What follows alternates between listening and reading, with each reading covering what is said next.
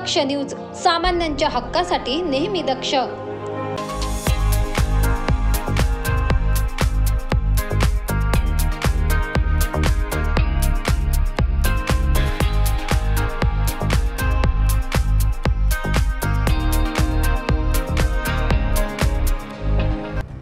सध्या अवैध धंद्यांचे प्रमाण वाढताना दिसून येत आहे यात कॅफेच्या नावाखाली अवैध धंदे जोरात सुरू आहे.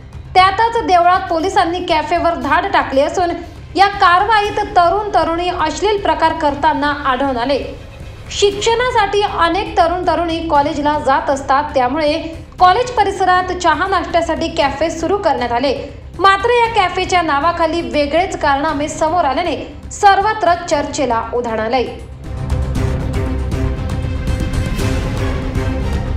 याबाबत अधिक माहिती अशी की देवळा सटाणा रोडवरील डीएसपी बासुंदी चहा येथे आडोसा निर्माण करून अनेक जोडप्यांना जास्तीचे पैसे घेऊन जागा उपलब्ध करून दिली जात असल्याची गोपनीय माहिती पोलिसांना मिळाली होती. त्या अनुषंगाने पोलिसांनी सदर कॅफेवर धाड टाकली असता येथे तरुण तरुणी अश्लील प्रकार करताना आढळून आल्याने हॉटेल मालक प्रशांत उत्तम आहेर यांच्यावर कलम एकशे एकोणतीस एकशे एकतीस क अंतर्गत कारवाई करण्यात आली आहे. सदर कारवाईमुळे अश्लील चाळे करणाऱ्या तरुणांचे धाबे दणाणले असून सदर कारवाईने देवळा कॉलेज व पालकांनी समाधान व्यक्त केले.